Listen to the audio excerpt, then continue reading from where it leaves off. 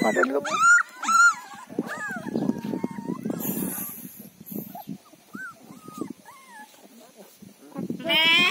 Ada di sana ya. Nah, ini kan. Kita tahu di dekat. Ini malam.